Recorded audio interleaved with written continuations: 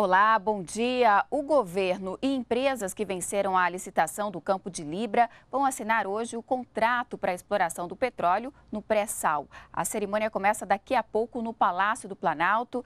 E lá está a repórter Ana Gabriela Salles. Bom dia, Ana Gabriela.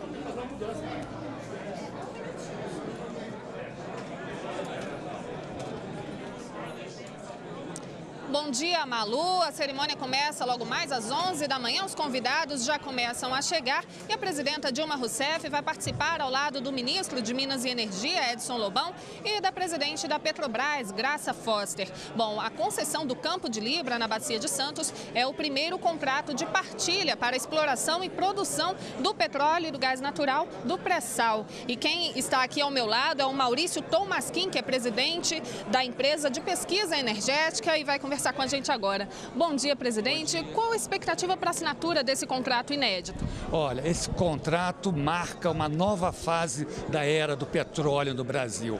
É um momento paradigmático, um momento importantíssimo no país, que o país deixa de ser importador e passará a ser exportador de petróleo, um grande ator no cenário internacional. E esse petróleo trará desenvolvimento para o país, porque acionará a indústria brasileira, as universidades universidades, os centros de pesquisa, trará desenvolvimento e, além disso, os recursos uh, oriundos dessa exploração vão ser aplicados num fundo social que vai ser aplicado em saúde, e educação, educação principalmente. Então, isso é muito importante, porque nós estamos usando um recurso finito, que é o petróleo, e deixando em troca algo que é muito valioso, que é uma educação para a população, uma população preparada para enfrentar o futuro.